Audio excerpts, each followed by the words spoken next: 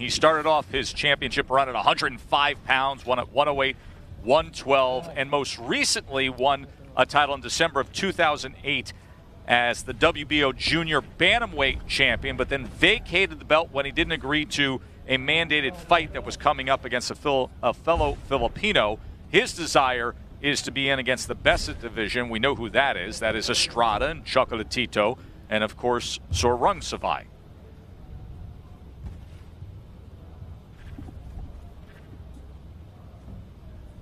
Nietes is a seasoned veteran. When you look at him, you may not see a lot that jumps off at the screen at you, but he is crafty for a division world champion. And he's very efficient, very economical with his movements, with his punches, and he does just enough to get the job done. But for a fighter like me, I respect and have a lot of uh, just a lot of admiration for a fighter like this and, and his longevity in the sport.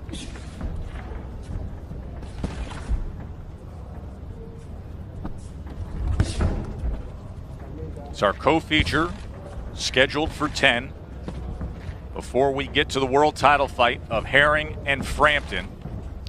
Fanless atmosphere here at Caesars Palace Blue Waters. It's a massive entertainment facility, but they have built this bubble. It's like an igloo, the rotunda they call it, right on the shore, looking back at the city of Dubai.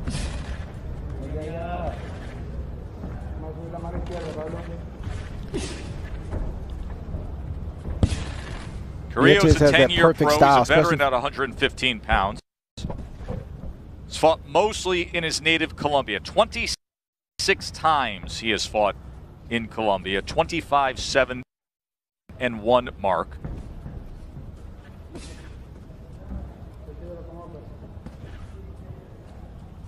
Carrillo has, excuse me, uh, Nietes has that perfect style, especially if you're a little bit older fighter and you don't have the spring in your legs and the energy that you once had in your 20s and 30s.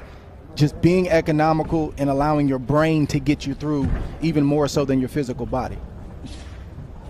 You know, one of the valuable things in boxing is to know where your opponent comes from. And Carrillo, he, he comes from Colombia. And the thing that comes to my mind, you know, in knowing different countries and styles is his punching power.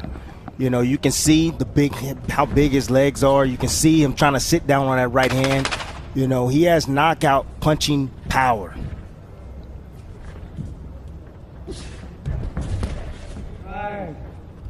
Forty-two wins over his career. Thirty-eight years old. Twenty-three knockouts for. And um, you know they looking for knockouts. They love the action.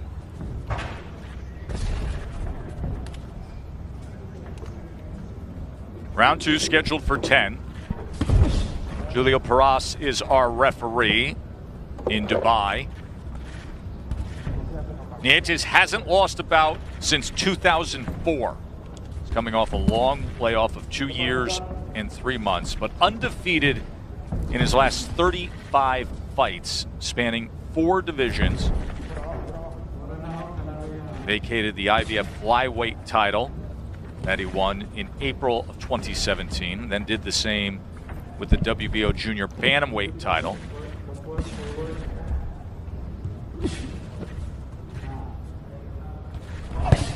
Sometimes, Joe, for an older fighter, a layoff can be problematic, but sometimes it's just an opportunity to rest those older bones, those muscles, especially if that older fighter stays in shape and is constantly working. Sometimes that layoff can be good, and it's not always a bad thing. I'm going to find out yeah, that answer one of the, here. One of the things that you don't test, one of the things that you, as an older fighter, you have a lot of experience. Nietes has a ton of experience, and you can see how savvy he is in that ring, you know, setting up the younger fighter in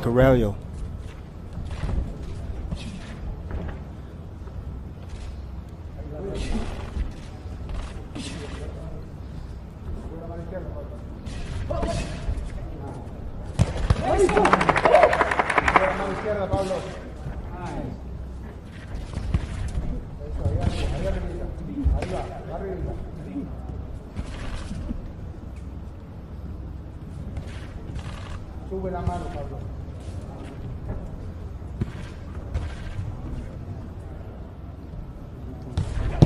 Rio trying to get that 1 2 going, but easily blocked from Nietes.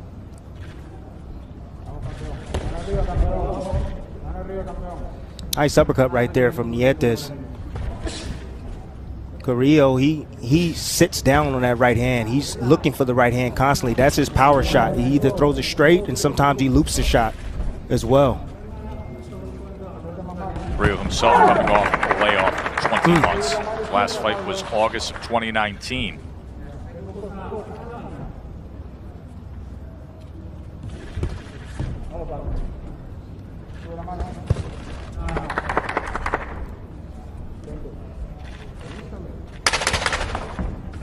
Coming to the end of round number two here. Four division champ Nietes against Carrillo, and then we lead to our junior lightweight world champ world champion. And you know, we've already talked about it earlier, and we're going to get into this more in our lead up to the main event. But there is so much to unwrap when it comes to how you view that fight, whether it's the strategy, whether it's the size, or Timmy even getting into the time zone change of this fight or adapting to the heat. This fight taking place in Dubai. That's 10 time zone difference from where Herring trained in Colorado. And Frampton got to Dubai on March 16th, so he had over two and a half weeks to acclimate, and Herring got there last weekend. Yeah, I'm not too worried about the, the whole acclimation point. A week, I think, is, is long enough. I understand that Frampton got there a little bit sooner, and he could feel a little bit more comfortable with the time change or the time zone. But the, a fight is a fight. It doesn't matter. It's going to go on in the ring, and both guys need to go out there and put it out on the line. Round three here between Nietes and Carrillo. In that last round, both men threw 34 punches. Carrillo landing nine, Nietes landing eight. So what you want to do if you're a veteran like Nietes is you want to have the younger, eager fighter just guessing. And Nietes is doing just enough to feint, keep the younger fighter off balance, not let him feel confident to throw that big right hand. He throws it, Nietes counters him, disciplines him. This is the ideal first two and a half rounds for Nietes.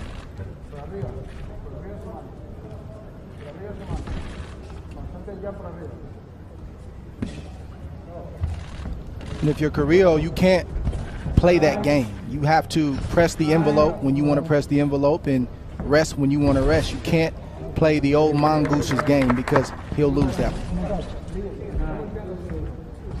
Well, it's very interesting. Nietes, you know, is having his way early. I would think that Carrillo would have his way early and Nietes would have more of his opportunity later in this fight but that's not the case right now. So things are looking pretty badly for Carrillo right now.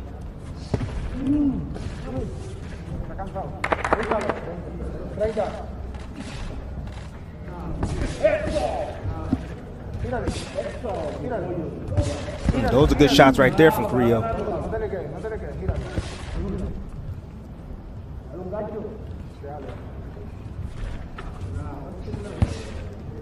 See that half step back right there from Nietes? It's hard to catch that if you're at home, but that that's a lot. That keeps a strong fighter like Carrillo guessing.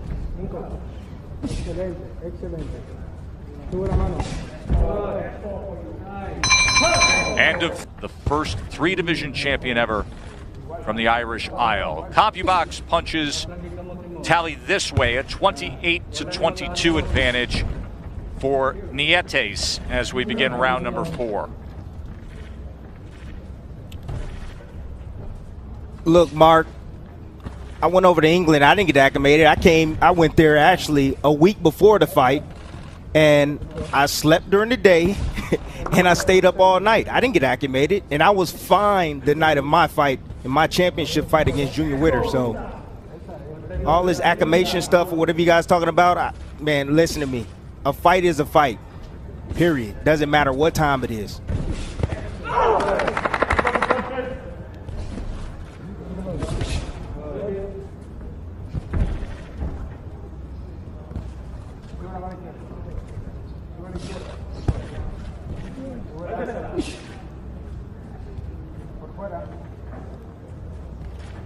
It's very important for Carrillo right now to step up the tempo. That's what you need to do against Nietes. He's a vet. Step up the tempo. Make him fight at a higher pace so that way you can wear him down.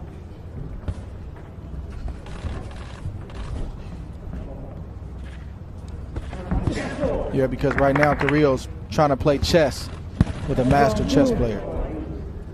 Yeah, you don't want to do that against a, a boxer like Nietes. You want to press the issue. Make him make decisions and choices quickly. Wear the legs down. Beat on the body.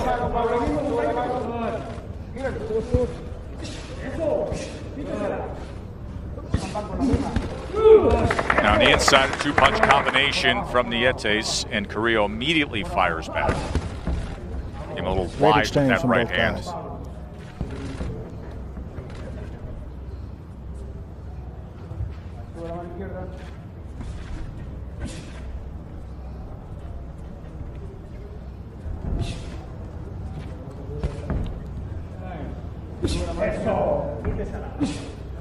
Tim, I think Carrillo needs to pick up that punch he just threw right there, not the right hand, but the jab, in order to let both hands go and then pick up the pace, just like you said. That'll at least give him a half a second to blind Nietes to let those shots go. To this point, he's thrown 70 jabs and he's landed 10. To your point, Dre, not only does he need to throw that jab to the head, he also needs to change levels with it and drop drop it downstairs if he wants to catch Nietes with that looping right hand that he's been looking for all night. Interesting to hear Frampton how he frames things. And he talks about he revels in the support back home. This is a global broadcast that is on free broadcast TV back in the UK. It's airing on Channel 5. So in Belfast, all over Britain, throughout the Irish Isle, they are all awaiting to see if Frampton can make history. No Irishman has become a three division world champion. He's one of seven from Northern Ireland to win what is a widely recognized boxing world championship. And here he is now, having first won a championship at 122 pounds, trying to do so at 130 pounds. Herring's five foot 10. Frampton is five foot five. And of course, Herring has the reach advantage as well. And that'll be something we focus in on right from the start in our world title fight that is coming up right after this co-feature between Nietes and Carrillo.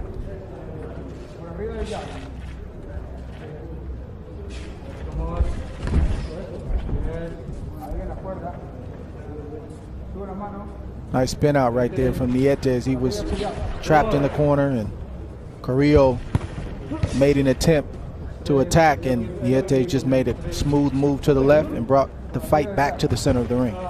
Comes with a one-two, utilizing the jab. He's been able to block that right hand of Carrillo.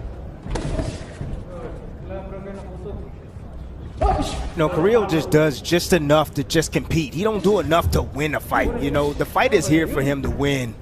You know, and I think that's been his issue. That's the reason why he's accumulated so many losses. Good right hand right there by Nietes.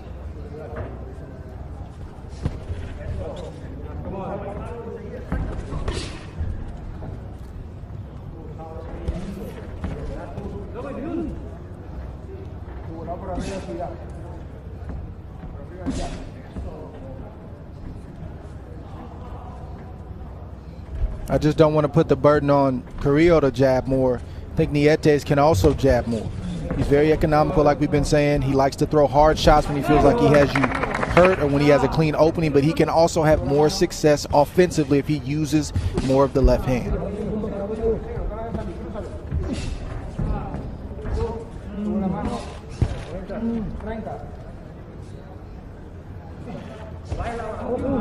I think sooner or later, Nietes is going to realize that Carrillo, he doesn't fight well going backwards. Anytime he will put pressure on him and throw combinations, you know, Carrillo gets himself out of position. Good hook right there by Left hook Carrillo. from Gets himself a little bit out of That's what you wanted to see more of, Tim, and Carrillo just gave you a glimpse of it. A lead left hook as we come to the end of round number five. Do want to show you what happened earlier as we begin round number six.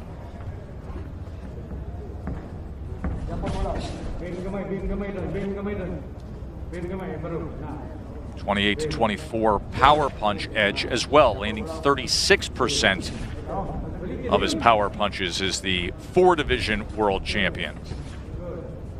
That first title was won back in 2007. 105 pounds he won.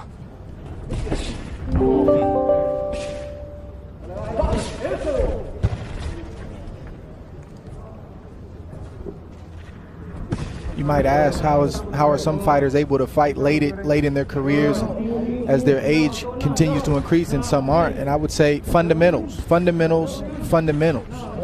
Nietes always has his hands in position. Even when he ducks down you'll see him have that left guard above where his temple is and protecting his chin looking over the guard trying to look for a shot. His feet are always in the right position.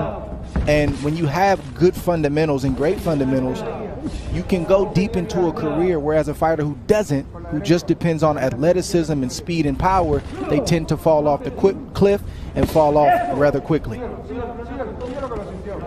also depends on the fighting style as well as you can see Nietes he's more of a boxer counterpuncher style as well. If he's more of an aggressive fighter then his years could be shortened. I think he's aggressive in spots Tim. I think he's right in yeah. front of you but he's just crafty when he's in front of you and I don't think 38 is, is really old. You know, I'm, I'm 37. I'll be 38 this year, and, and mentally, I feel like I can do it, but physically, my body will not hold up. So I think it has a lot to do with your body as well. You know, how much you take care of your body outside of the ring, and also during your training camp. Well, if the big buzz in boxing holds up and comes to fruition with signed contracts, we're going to be talking about another Filipino when it comes to how much age is a factor, and that is Manny Pacquiao at 42 years old. Uh, so many reports this week of the talks of a Pacquiao Crawford welterweight showdown. That would be June 5th, about an hour away from where the fights are coming to you today. That would be in Abu Dhabi. We'll see if that comes to fruition. Tess, anytime you say the name Manny Pacquiao, I don't think about age. Manny you think about Rolexes, Tim. You think about Rolexes is what you think hey, about. and no, many Teslas. many Teslas. no, I, I just think age is not a factor. That guy is special. He's a special fighter. Well, this would be the ultimate test to find out how special Pacquiao is as his fellow countryman is in control here coming to the end of round number six. Nietes in control against Carrillo, but the Lance Crawford career, this is what he needs. He needs this type of recognition, the notoriety. If he can beat a guy, a legend like Manny Pacquiao, then without question, he's the man. Dre, obviously everybody wants to see an Errol Spence fight, but in listening to the two fighters recently, uh, you know, there's little hope that we get that in the near future. We can hope as big of a fight as that would be, and that would be one of the biggest, if not the biggest, fight that you could make in boxing, one of the biggest events that the sport can produce would actually be this Pacquiao Crawford. There's a big difference between a great match, a great bout, and a big event. This would be a big event. Of course. I mean, again, because Manny Pacquiao's associated with it, and you have my pound for pound number one fighter in the world associated with it. So, of course, it's going to be a big matchup. And boxing is just strange like that. Like, I, I for whatever reason, we're not getting Spence Crawford, but if Errol Spence wins another title against Ugas, and he's got three out of the four belts. And Terence Crawford takes care of business against Manny Pacquiao. All of a sudden, that fight's going to seem a lot more doable than it is right now. Yeah, coincidentally, that title that Ugas would have is because the WBA has put Pacquiao as the champion in recess. If you want to follow along all the plot twists of the alphabet soup organizations. Round seven here, halfway through. Nietes has been controlling things. The four division world champion, who is coming off the long layoff. Last fight was December of 2018 on the vacant WBO Junior Bantamweight World Championship then. Had a 12 round split decision against Kazuto Ioka. 17 year pro, very popular among the Filipino fight fans. This is his first fight in the Middle East. 37 times he has headlined as the main event fighter. a right hand from the former champ. 37 times back home in the Philippines, he has been the main event fighter. Remember, at the end of this 10 round co feature, we will get right to the World Championship fight between Carl Frampton and Jamel Herring. Wide sweeping left hand just off the mark. I knew sooner or later Nietes is going to realize that Carrillo can't fight well going backwards. He's pressuring now.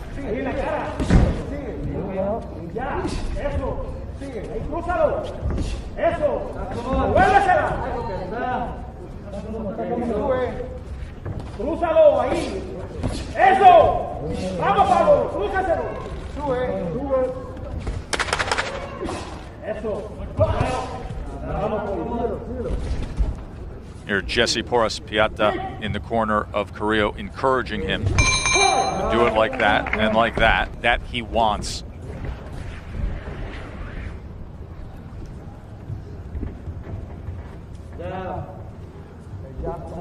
Last time we saw Herring was against Jonathan Oquendo. That was back in September, won by DQ, but the way he finished up that night created a lot of questions as to what we will see tonight. Whereas he's dealt with so much recently. Everybody's had the layoff in the sport, but then COVID positive. And then the delays to this world championship fight. And the wait is over. Frampton and Herring just moments away.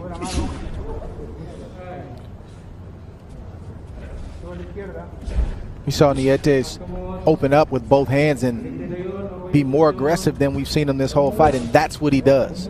He's sort of like a knuckleballer in baseball. He'll just keep chipping away, a little bit here, a little bit there, and when he lands that shot, you'll see him open up and try to finish the show. He couldn't do it against Carrillo, credit to him, but you better believe that Nietes is looking for that big shot once again in these next two and a half rounds.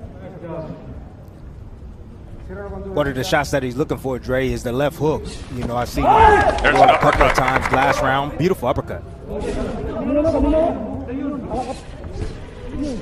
See, the uppercut is a dangerous shot because it comes from the bottom up. You don't see it. You know, you're used to seeing hooks coming around and right hands coming around, but you just don't see the uppercut come right up the middle.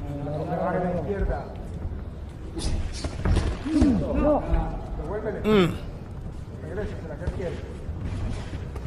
But Carrillo's game.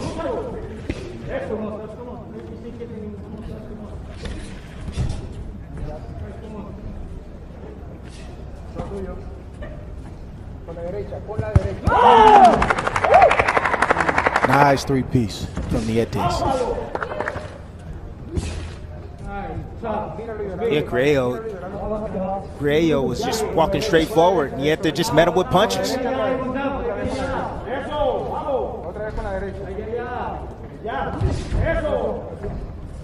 Síguelo así, síguelo con tu derecha, con tu derecha. 30. ¡Vamos, Pablo! ¡Crúzalo! Eso, esa, esa, bueno. It's good positioning inside from Nietes. He gets hit with the shot. He makes the adjustment. He rolls to the side. He rolls back. Hands are in position, and he's looking for a shot. He didn't have one, so he resets. Beautiful, beautiful sequence, even though he got hit with the punch. And then a three punch combination on the inside. Because good upper body movement, even at close range. Four division world champion.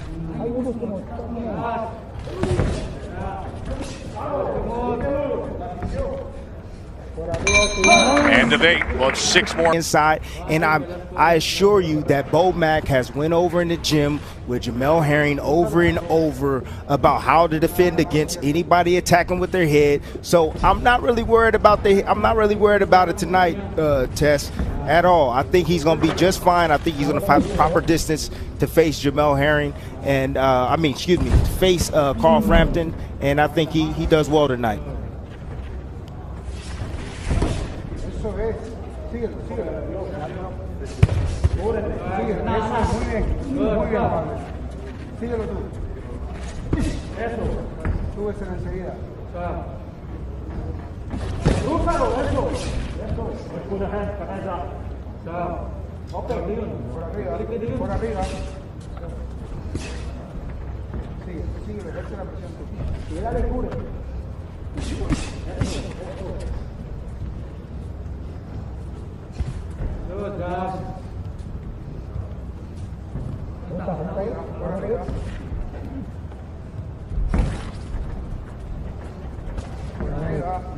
think Nietes has pretty much tamed Carrillo to fight the fight that he wanted to fight. In fact, I think it's been that way the whole way through. But I think it's very, very evident right now that Carrillo is tamed. He's a very tough fighter, so he's going to keep throwing. But good shot from Nietes. I don't see Carrillo trying to land shots that, that he's setting up. He's just sort of surviving in there. From the opening bell, Dre, has just been, you know, fighting at this pace outside. I mean, I, I think it's his game plan. His game plan just stinks tonight. You know, that's not the game plan. I would come in against an older fighter, a veteran fighter, and Nietes. That right there is what game plan I would come in. With smother him, get close, beat on him anywhere you can. Slow this man down. Don't give him any chances to think.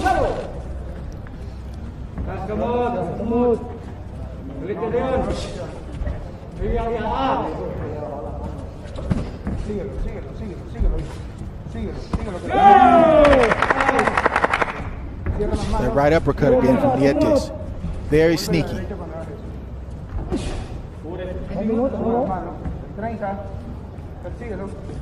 Derecha cuando hagas eso. Un minuto, sube las manos. 30. Persíguelo. Sube las manos. Ahí. Izquierda. Now Carrillo's getting real aggressive and he's leaning just a tad bit over the front knee. That's why you're seeing Nietes looking for the uppercut. You know, he's a veteran.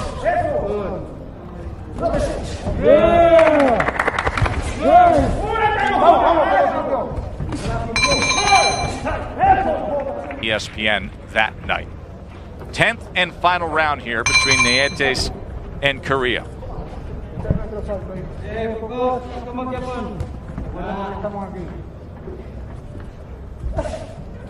I mean, I heard about touching gloves and, you know, I've seen it and I've done it in the last round as well, but a hug and all that stuff, that's a lot of respect both men have for one another right now, man. Sounds like a little too much Jeez respect for you, Louise. Tim. a little bit Pace too much picked up respect, here from yes. Carrillo.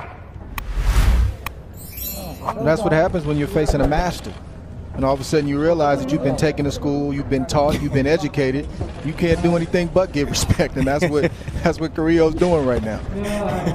Vivo, juega vivo. Sube las manos. It's a different type of beating. You know, some would say, "Oh, that's too strong of a word," but is it really? When you have a fighter in Nietes who's taken away your greatest strength, but he exploits all your weaknesses, mm. and he's not fighting the way he looks on paper. He's not fighting his age, or he's not fighting, you know, the amount of miles that he has on his odometer. He, he just seems to fight younger, smoother, sharper, and he's smarter than what one may think. And that's what Carrillo has, has you know, understood the hard way in this fight. That's experience. That's great timing by the former champion, Nietes.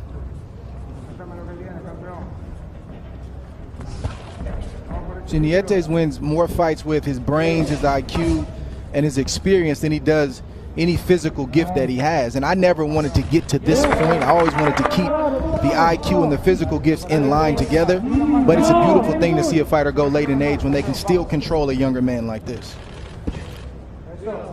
You know who was really good at that, Dre, was Bernard Hopkins. He was great at that. Yeah. He beat everybody with his mind. That's why he stayed in the business a long time.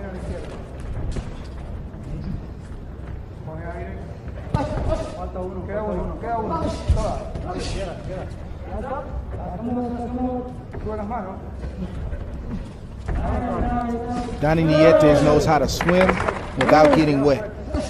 He does a little bit of everything, right, Dre? A little bit of everything. He can come forward. He boxing from the outside off the back foot, stepping to the side, stepping around, going down to the body. I like what I'm seeing from him. Nietes. Timing a right hand there the key is in the eyes. For Nietes, he's just always looking at the target. Even in the midst of being under fire, his eyes are always locked in on the target. Never out of position or rarely out of position.